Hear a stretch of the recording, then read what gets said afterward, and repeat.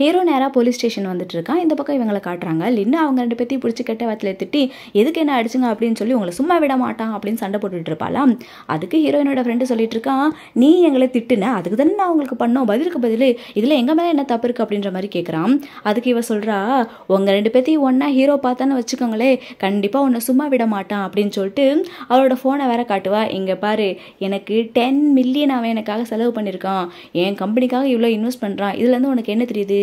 அவன் என்னதான் கேர் பண்ணுறான் நீ எவ்வளோ சண்டை போட்டு அவன் எனக்கு ஹெல்ப் பண்ணக்கூடாதுன்னு பார்த்தாலும் அவன் எனக்காக ஹெல்ப் பண்ணிட்டு தான் இருக்கான். அதனால் அவன் மனசில் உனக்கு இருக்க இடத்த விட எனக்கு இருக்க இடம் தான் ஜாஸ்தி அப்படின்னு சொல்லிட்டு அவன் மட்டும் உங்களை பார்த்தா சும்மா விட மாட்டான்னு சொல்லும்போது நம்ம ஹீரோயின் சொல்கிறா எனக்கு என்ன அவனை பார்த்தா பயம் நினச்சிட்டு இருக்கிறியா? அவன் எங்கள் ரெண்டு பேர்த்தையும் ஒன்றா பார்த்து கேர் பண்ணுற ஆளும் கிடையாது. நான் அவனுக்கு பயப்படுற ஆளும் கிடையாதுன்னு சொல்லும்போது அவன் உன்னை டிவோர்ஸ் பண்ண போகிறான் அப்படின்னு சொல்லிட்டு இந்த பக்கம் இந்த லீன் சொல்கிறா அதுக்கு நம்ம ஹீரோயின் டிவோர்ஸ் பண்ணட்டுமே. நான் அவனை பார்ட்டி கூப்பிடட்டுமா நைட்டுக்கு அப்படின்ற மாதிரி சொல்லிட்டு இருக்கான். நம்ம ஹீரோ கரெக்டாக அப்போ உள்ளே வரான். இவங்க ரெண்டு பேரும் சண்டை போட்டுருக்கதை பார்க்குறான் போலீஸ் சார் நீங்கள் வந்துட்டீங்களா? அப்படின்னு சொல்லிட்டு நம்ம ஹீரோவை கூப்பிடுறாங்க. அப்போ இந்த லின்னு இருந்துக்கிட்டு இங்கே பாரு எனக்கு கையில் அடிபட்டுருச்சு அப்படின்னு சொல்லிட்டு நம்ம ஹீரோ கிட்ட எந்திரிச்சு போறா.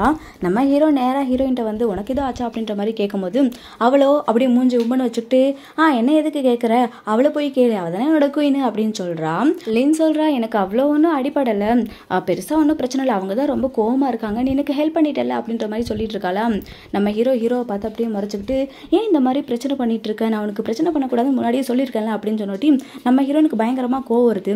அதை எப்படி என்ன ஏது ஒன்றுமே கேட்காம நீயா முடிவு பண்ணிட்டு நான் தான் பிரச்சனை பண்ணியிருப்பேன்னு சொல்லிட்டு அப்படியா அப்படின்ட்டு ரொம்ப கோவமாக அவனை முறைச்சிட்டு அந்த பக்கம் நான் கிளம்புறேன்ட்டு போயிட்டு இருக்கான் ஹீரோ ஸ்லோ மோஷனில் அப்படியே ஹீரோயினையே பார்த்துட்டு இருப்பான் அப்போ ஹீரோனோட ஃப்ரெண்டு இருந்துக்கிட்டு இங்கே பாருங்க இந்த டைம் நீங்கள் பண்ணது உண்மையிலே தப்பு நீங்கள் இப்படி பண்ணிடக்கூடாது அப்படிங்கும்போது அவன் முறைப்பானா ஆக்சுவலாக அந்த ஃப்ரெண்டுக்கு வந்து ஹீரோ முறைச்சாலே ஹீரோனாவே பயந்தான் உடனே ஓடி போயிடுவான் லின்னு சொல்லுவா எனக்கு அவ்வளோ ஒன்றும் காயம்லாம் இல்லை அப்படின்னு நம்ம ஹீரோவை பார்த்து கொஞ்சம் கொலைய வருவாளா?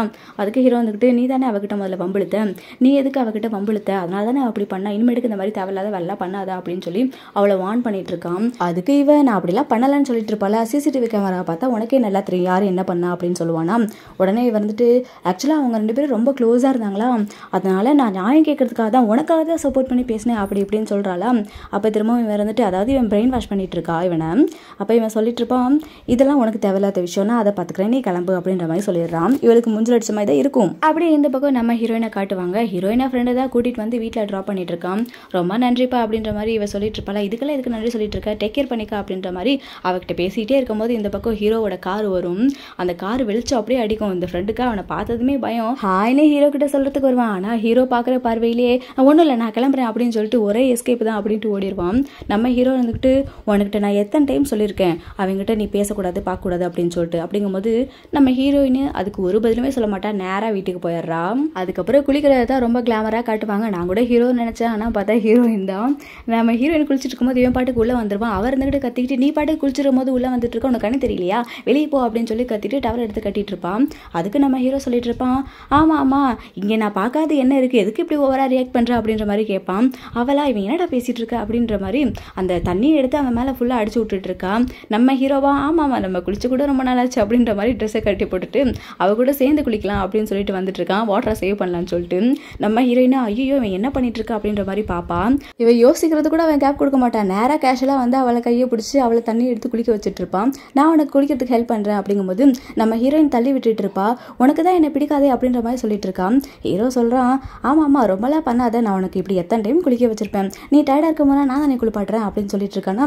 இவளுக்கா மனசில் ஒரே யோசனை என்ன இவன் பேசிட்டு இருக்கான்? இவன் அவ்வளோ தானே விரும்புகிறான் நம்மக்கிட்ட இவ்வளோ கேஷுவலாக இருக்கான் அப்போ எங்கள் கல்யாண வாழ்க்கை அவ்வளோ நல்லா இருக்கா? அப்படின்ற மாதிரி சொல்லிட்டு இந்த பக்கம் ரொம்ப கோவமாயிடுறா. ஹீரோ கிட்ட சொல்லிட்டு இருக்கா நீ இந்த மாதிரிலாம் பண்ணா லின்னு உன் மேலே கோப்பட மாட்டாளா? உன்னை தப்பாக நினைக்க மாட்டாளா? அப்படிங்கும்போது நம்ம ஹீரோவுக்கு கடுப்பாகுது. என்ன நீ சொல்கிற அப்படின்னு சொல்லிட்டு இந்த நேரத்தில் நீ இந்த மாதிரிலாம் பேசணுமா? அப்படின்னு சொல்லி கேட்குறான் அப்போ அவள் திரும்ப வந்துட்டு ஆமாம்மா நீ இப்படிலாம் பண்ணாத. அவள் ஹர்ட் ஆயிடுவா அப்படின்னு சொல்லும்போது நம்ம ஹீரோக்கு ரொம்பவே கடுப்பாகி போயிடுது இவளுக்கு கொஞ்சம் அனீசியாக ஃபீல் ஆகுது. இவன் எப்போ போவா? அப்படின்ற மாதிரி பார்க்குறான் ஆனால் இவன் இப்படி பேசினா அவனுக்கு ஹர்ட் ஆகி அப்படியே கோமா போயிடுறான் நல்லதாக போச்சு. அவளோட பேர் யூஸ் பண்ணது அப்பா அப்படின்ற மாதிரி இவ கொஞ்சம் ரிலாக்ஸ் ஆகிட்டு இருக்கிறான் அதுக்கப்புறம் இவங்கிட்ட வந்து எப்படியாவது தப்பிக்கணும்னு சொல்லிட்டு ரொம்ப நேரமாக குளிச்சுட்டு நைஸாக ட்ரெஸ்ஸை போட்டுக்கிட்டு தூங்கலாம்னு சொல்லி பார்ப்பலாம் நம்ம ஹீரோ தூங்கிருக்க மாட்டான் ஒழுங்காக வந்து பெட்டில் தூங்க அப்படின்னு சொல்லி கூப்பிடுறான். அவர் இருந்துகிட்டு அதெல்லாம் ஒன்றும் தேவையில்ல அப்படின்னு போய் சேரில் உட்காருவாளாம் இன்னும் நீ இன்னோட பஞ்சாயத்தை வச்சுக்கிட்டு எவ்வளோ நாள் தான் என்கிட்ட கோமா இருப்ப? அப்படின்னு சொல்லி ஹீரோ கேட்குறான் அவர் இருந்துக்கிட்டு நான் உன்கிட்ட கோமாலாம் இல்லை.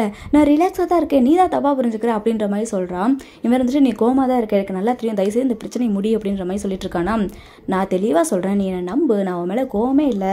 நீ ஆளை விடுறியா அப்படின்ற மாதிரி சொல்லிட்டு இருக்கா இவன் மனசுக்குள்ளே என்ன சொல்லிட்டு இருக்கானா நான் தான் அவளுக்கு அரை கொடுத்துறேனே அதனால நான் ரொம்ப ரிலாக்ஸாக இருக்கேன். குட் ஃபீல் அப்படின்ற மாதிரி பேசிட்டு இருக்கிறா ஹீரோ சொல்கிறான் நீ முன்னாடி இப்படி தான் சூசைட் பண்ணுற மாதிரி ஒரு ட்ராமா பண்ண.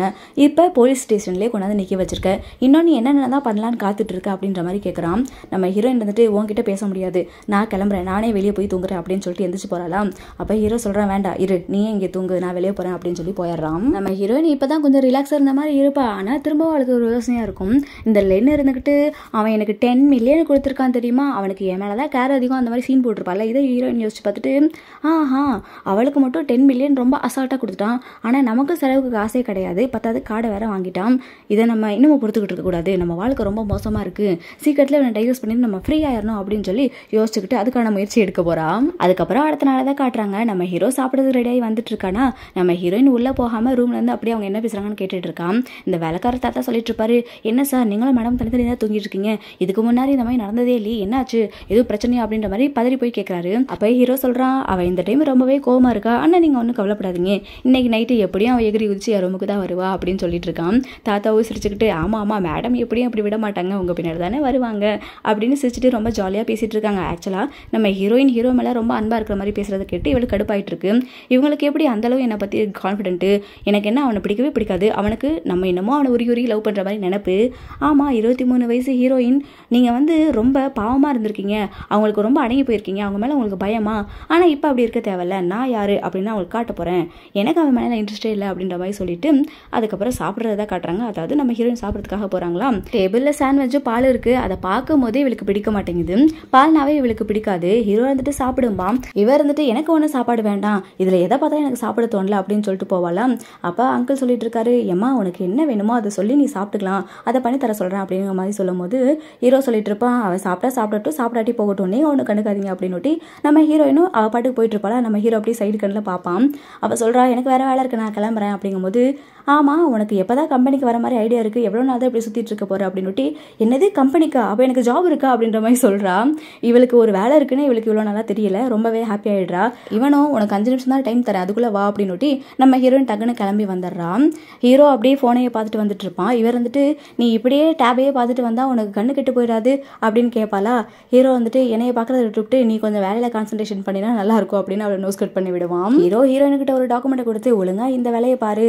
போன தடவை மாதிரி அவளுக்கு பிரச்சனை கொடுக்காத அதெல்லாம் தேவையில்லாத வேலை அப்படின்ற மாதிரி சொல்கிறானா அப்போ தான் ஹீரோயினுக்கு தெரியுது ஓ நான் குவாலிட்டி செக்கிங்கில் இருக்கேனா? அப்படின்னு சொல்லி பார்க்குறான் நம்ம ஹீரோயின் ஆஃபீஸில் அவங்களோட கேபினுக்கு போயிடுறாங்க. அவளுக்கு ஒரு பர்சனல் அசிஸ்டன்ட் இருக்காங்க. அவளுக்கு முன்னாடி நடந்தது எதுவும் ஞாபகம் இருக்காதா? அதனால உனக்கு ஞாபகம் இருக்கான்னு டெஸ்ட் பண்ணுறேன்ற மாதிரி என்ன நடந்துச்சுன்னு தெரிஞ்சுக்கிறான் ஹீரோ வந்து பெரிய பிஸ்னஸ் மேன் இல்லையா? அவன் இன்வெஸ்டர் இவன் வந்து அந்த கம்பெனிலேயே இருந்துக்கிட்டு குவாலிட்டி செக்கிங்லாம் பண்ணிட்டு இருக்கா அதோட ப்ராடக்ட்டை பற்றி இந்த நேரத்தில் என்ன ஆயிருக்கும் அப்படின்னா லின்னுக்கும் இவளுக்கும் பிரச்சனை ஆயிருக்கும் லின்னு வந்து அட்வர்டைஸ்மெண்ட் பண்ணிட்டு இருக்கா. வந்து ஒரு ஹேங்கரிங் மாதிரி இந்த பொருள்லாம் இவ்வளோ நல்லா இருக்கு அப்படின்னு சொல்லி ரிவ்யூ கொடுத்துட்டு பப்ளிக் மத்தியில் ரொம்பளுக்கு நல்ல ஃபேஸ் இருக்கும். நம்ம ஹீரோயின் வந்து அதில் தப்பான ரிவ்யூ போட்டு விட்டுறா ஏன்னா அந்த குவாலிட்டி வந்து கரெக்டாக இல்லை அப்படின்னு சொல்லிட்டு அப்போ எல்லாரும் என்ன சொல்கிறாங்கன்னா இவள் வேணும்னே அவள் மேலே உள்ள ஜெலஸில் இந்த மாதிரி பண்ணி விட்டுருக்கா. அதனால தான் அவள் கம்பெனிக்கு லாஸ் ஆயிடுச்சு அப்படின்னு சொல்லிட்டு ஹீரோயின் குவாலிட்டி செக் பண்ணனால உண்மையில அதில் தப்பு இருக்குன்னு கண்டுபிடிச்சி தான் போட்டிருக்கா. இது உண்மையா இல்லையான்னு கூட இவளுக்கே தெரியாது. ஆனால் எல்லாரும் வந்து ஹீரோயின் பொறாமையில் அவள் மேலே பழி சுமத்தவே இப்படி பண்ணியிருக்காங்க அப்படின்ற மாதிரி அவளே ஒரு ப்ராஜெக்ட் பண்ணி விட்டுருப்பான் இது எப்படி என்ன டீட்டெயில்ஸ்லாம் வந்து இனிமேல் தான் ஹீரோயின் கண்டுபிடிப்பாங்க அதை நம்ம அப்புறம் பார்க்கலாம். ஸோ இதை வந்து இந்த அசிஸ்டன்ட் இப்போ எல்லாத்தையும் ஒரு இன்ட்ரடக்ஷனாக கொடுத்துட்டு இருக்காங்க. இந்த பக்கம் ஹீரோ அவனோட செக்ரட்டரிட்ட சொல்லிட்டு இருக்கான்.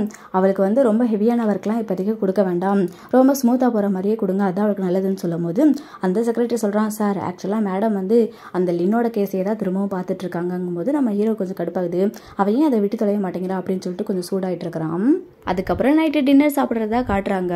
பார்த்தா நம்ம ஹீரோயின் மொத ஆளாக உட்காந்து பயங்கரமாக ஒரு கட்டு கட்டிட்டு இருக்கா. ஹீரோக்கு இதை பார்க்கும் போதே என்னடா அப்படின்ற மாதிரி இருக்கு. அப்போ அங்கிள் சொல்கிறாரு அவளுக்கு பிடிச்ச மாதிரி சாப்பாடு அவளே கேட்டு செஞ்சு தர சொல்லி சாப்பிட்டுட்டு இருக்காங்க. போது நம்ம ஹீரோ உட்காந்துட்டு பார்ப்பான் எங்கே இதில் எனக்கு பிடிச்ச மாதிரி ஒன்றுமே இல்லையே அப்படின்னு சொல்லும்போது ஹீரோயின் வந்துட்டு இதெல்லாம் எனக்கு பிடிச்சதை நான் சொல்லியிருக்கேன் அப்படின்னு சொல்லுவாளாம். அப்போ ஹீரோ சொல்கிறான் நீ வேணும் தானே இந்த மாதிரி பண்ணிட்டு இருக்க. முன்னெல்லாம் எனக்கு என்ன பிடிக்கும்னு பார்த்து அதை தான் நீ எடுத்து வைப்ப அப்படிங்கும்போது ஆமாம் எனக்கு என்ன பிடிக்கும் பிடிக்காதுன்னு கூட உனக்கு தெரியல. நான் எதுக்கு உனக்கானதை அதை பார்த்து எடுத்து கொடுக்கணும் அப்படின்னு சொல்லிட்டு அவள் பாட்டுக்கு சாப்பிடுவா. சாப்பிட்டு அவள் எந்திரிச்சு போவாளா? திரும்ப திரும்பி வந்து கேக் இருக்கும். அதை எடுத்துக்கிட்டு போவா. இதை பார்க்கும்போது இவனுக்கு உண்மையிலே கொஞ்சம் வித்தியாசமாக தான் இருக்கும். இவன் எப்படி இப்படி மாறிட்டா அப்படின்ற மாதிரி பார்த்துட்டு இருக்கான் அதுக்கப்புறம் நம்ம ஹீரோயினோட பெட்டை தான் கட்டுறாங்க. அதாவது ஹீரோ வந்து பாப்பா எங்கடா இவளை இன்னும் காணும் அப்படின்னு சொல்லிட்டு அவருக்காக பால்லாம் சூடு பண்ணி எடுத்துக்கிட்டு கரெக்டாக ரூமுக்கு வரான் அப்போ ஹீரோயின் கேட்பா நீ எங்கே இங்கே வந்த? அப்படிங்கும்போது நான் வராமா அப்படின்ற மாதிரி அவன் ஒரு ரியாக்ஷனை விடுறான் நீ வெளியே போ அப்படின்னு இவன் சொல்கிறாளா இன்னும் உனக்கு கோவம் தெரியலையா? அப்படின்னு சொல்லி அவன் கேட்குறான் நான் எத்தனை தடவை உன்ட்டு சொல்கிறது எனக்கு உன் மேலே கோ கிடையாது. ஏன் என்ன நம்ப மாட்டேங்கிற? அப்படின்னு சொல்லி கேட்கும்போது நம்ம ஹீரோ வந்துட்டு இந்த பாலக்குடி பாலை குடிச்சா உனக்கு கோவம் தீரும் அப்படின்னு சொல்கிறான் அவளோ திருப்பி கோவம் வந்துடுது எனக்கு பாலே பிடிக்காது. பால்னா அலர்ஜின்னு உனக்கு தெரியாதா? அப்படிங்கிறா. அவன் இருந்துக்கிட்டு எனக்கு நல்லா ஞாபகம் இருக்குது பால் தான் உனக்கு ரொம்ப பிடிக்கும். நீ என்கிட்ட சொல்லி கெஞ்சிருக்க அப்படிங்கிறான். என்கிட்ட கொஞ்சம் கொஞ்சம் வந்திருக்க. பால் கிட்ட அழுதுருக்க அந்த மாதிரிலாம் சொல்லிட்டு சரி இதை குடிச்சிட்டு அப்புறம் நைட்டு நடுராத்திரிக்கு என்னை தேடி ரூமுக்கு வராத அப்படின்னு சொல்லிட்டு போகிறானா நம்ம ஹீரோயினுக்கு அப்படியே பயங்கரமாக ஷாக் ஆகிட்டு இருக்கு ஆஹா நானே பதினெட்டு வயசு சின்ன பொண்ணு. எனக்கு ஒரு குழந்தையா? அதுக்குள்ளே என்ன தாயாக பார்க்குறேன் என்னடா இப்படி ஒரு ரியாக்ஷன் விட்டுட்டு போகிறான் நம்ம என்ன பண்ணுறது இந்த மாதிரிலாம் பண்ணிட்டு இருந்தா அப்படின்னு சொல்லிட்டு அவள் கண்ணத்தை அவளே தொட்டு பார்த்துக்கிட்டு ஆஹா இப்படி விடக்கூடாது அப்படின்னு சொல்லிட்டு அந்த பாலை பார்க்குறா இவளுக்கு கடுப்பாகுது. பாலை தூக்கி குப்பை தொட்டில் போடுறான்